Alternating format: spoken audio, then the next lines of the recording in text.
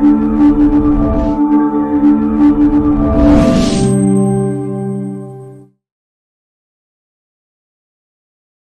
there YouTube, Jonathon Silva here, trainer at Pragmatic Works. And in this video, I'm gonna take you through the steps on how we can go ahead and split columns using the Power Query Editor. So without further ado, let's just jump right into the Power Query Editor, look at some sample files that we can go ahead and use in order to understand all the different methods on how to split columns.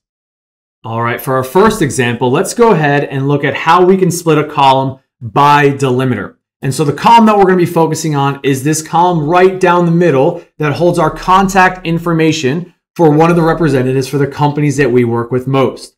And so what we're going to do in order to split this column, we're going to go ahead and choose the split column by delimiter option. And when we do that, we're going to try to create two distinct columns, one for the first name and one for the last name of our contact. So if I go ahead and do a right click on our column header, I can come down here and choose to split this column by delimiter. And the delimiter that I'm going to use in this case is the space. Now you notice that Power BI has automatically looked at this column and what's existing inside of it and guessed that we're going to want to use the space as the delimiter. And so what we can do is to just simply say, we're going to split it for each occurrence of the delimiter or from the left or right most. And in this case, since we know there's only one space there, each occurrence, it really doesn't matter. So we're going to go ahead and hit OK. And so now what you can see is we have two distinct columns, one for first name and one for last name. And so if we wanted to go ahead and change the name of those to first name and last name, we can very easily do that. And so now we have our two distinct columns here, first name and last name. So if we wanted to do any reporting based on just simply the last name of the contact that we're working with, we can now do that. All right, let's go ahead and look at our second example here in our another table there that we're going to work with. So we have two different options here, two different columns that we're going to be working with in order to split column. The first one is going to be on this city column. And as you notice, we're just looking at cities that exist throughout the United States. We have a couple zip codes identifiers there to show where they are. And so for this one, what we're going to choose to do is split this into three different columns one for the city, one for the state, and one for the country. So, in order to do that, what we're going to tell Power BI we want to do is to split this column by delimiter. And the delimiter, as you again notice, Power BI and Power Query Editor have guessed already what we want to do is going to be the comma. And so in this case, we're going to once again choose each occurrence of the delimiter because what it'll do is split this single column into three unique columns. If I only chose either the leftmost or the rightmost delimiter, that would give me two columns because it only split it one time. So let's go ahead and choose once again each occurrence of the delimiter.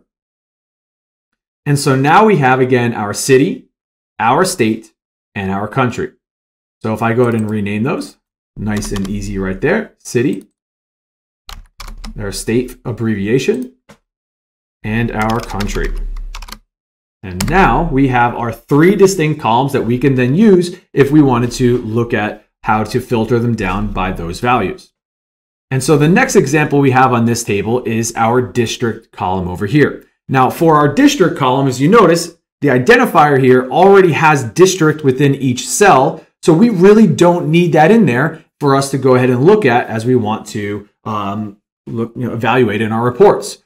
So what we can do is we can split this column up by position because what we really don't need also is this pound symbol, this hashtag as well. What we only want is the actual district number.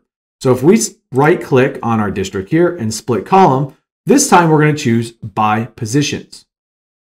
And once again, Power Query Editor, because it's so great at guessing what we want to do, it's going to look at the positions already set up there and say, you know what? we've gone ahead and counted and looked at the data in there, and, and we're going to guess that you want to split this by the 10 position, which means it's going to count 10 paces over, and it's going to look at the, the data within that cell and split it right on that pound sign and the number right after it. So if we go to hit OK, we'll notice that we now have our number of positions. And so we have seven, and then we have 21 as we go through, 30, and it's automatically doing that for us. And so now we can go ahead and just simply get rid of this district column because we don't need it, rename the column we just created to district by itself, and we're ready to go. Now, one of the things we can also tell that happened here automatically in the Power Query Editor is it's changed this column data type to a whole number. Well, we know that district is a unique identifier column. So because of that, we want to make sure that it's not a whole number, but it's going to be a text. And everything will be set up there and we should be ready to go. So our next example that we're going to be looking at is we're going to split this a column here by delimiter and then another one by characters. And so for the first column that we're going to focus on here is our product column. And so what we have within this column are both product and a segment that the product belongs within. And so the one thing that we're going to use to split this column, the delimiter we're going to choose in this case, is this pipe stem right down the middle. So let's select our column, right click, and we're going to choose to split this column by delimiter. And in this case, we're going to go ahead and have to use a custom delimiter. Power BI and Power Query Editor looked at the delimiters within here and said, well, there's a hyphen, but we know that's not the one we want to choose. So in this case, we're going to remove the hyphen and we're going to insert the pipe stem delimiter. And so now we're going to split this again at each occurrence or leftmost. In this case, it doesn't really matter, but we can go ahead and choose leftmost. And if we select OK, now we can see we have two distinct columns here that were once put together with that pipe stem delimiter. So we can go ahead and rename them to product and segment. And so now we have those values set up the exact way we want to see them. So if we want to put this into a table or into any chart, we can make sure we can filter down by the product specifically or the segment that the product belongs to specifically as well. All right, so staying on this table, we're also going to go ahead and look at the price column. Now, if you notice here in this column that is labeled price, we have each individual cell there showing the price for that product in US dollars. But the problem with this is if we want to go ahead and look at this for a report, it's not going to work because the USD label that's in there. So what we're going to want to do is we're going to split this column by a number of characters in order to get rid of the USD. And then after that, we could just simply change the data type on the column to a currency.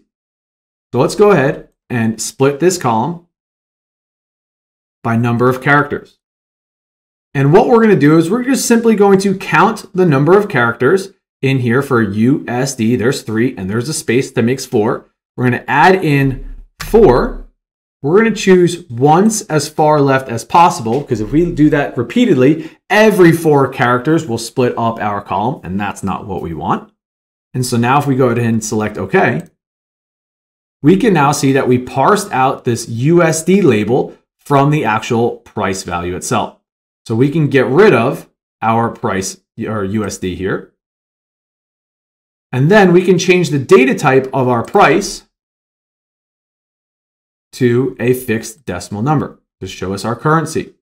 Change our title here, just simply show price, and we are ready to go. All right, so then let's keep on going on here and look at our next example where we look to split columns by, from digit to non-digit.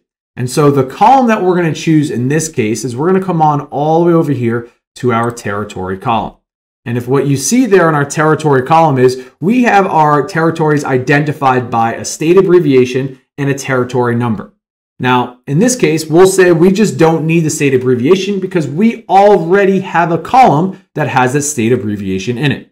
So if we wanted to simply just remove that state abbreviation from this territory column and just keep the numeric value, we can very easily do that as we right click and split column but in this case, we're going to choose the digit or non-digit to digit. And when we did that, we now have a distinct column here with our state abbreviation, our non-digits, and another distinct column here with our territory key labeled up. So we can go ahead and remove this column and just simply call this other one our territory. Very easy, very simple for us to do.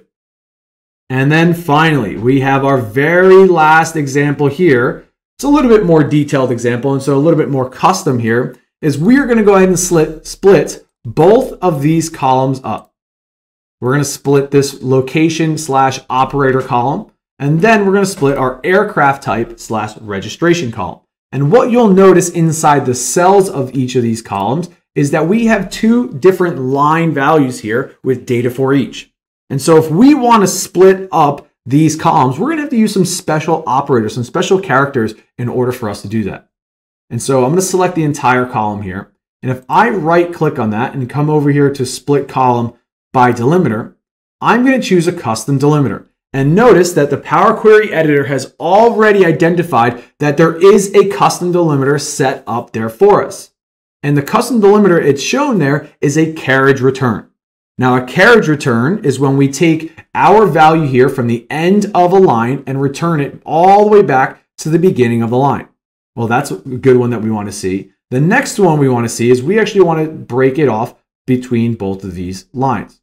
So the next custom character we're going to add in there is a line feed. And we do that using our pound symbol or a hashtag open parentheses, LF, close parentheses to represent our line feed. And so now, if we go ahead and select OK, we can see that we have now split these columns by both carriage return and then line feed, which moves us down to the next line. I like to think about an old typewriter when I think of what a carriage return or line feed does.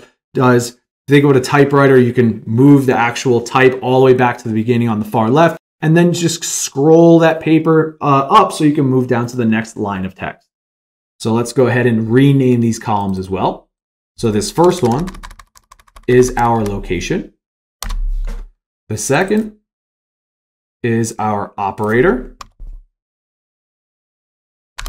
And we are good to go. All right, so let's go ahead and do it one more time. So to get a little bit more practice with that, we're gonna split up this aircraft type slash registration column. So we're gonna go right click, split column by delimiter. And once again, we are gonna do our custom delimiter, our carriage return, and our line feed. And so now when I select OK, we can see everything's ready to go. All of our rows are now formatted in a really, really nice and neat way. Only thing we have left to do is change the column label there. So aircraft type and registration. And so now we are all set to go. Well, thank you for joining today, and hopefully this video has helped you and giving you a better understanding and how you, you, you can use the Power Query Editor to split columns within your data set.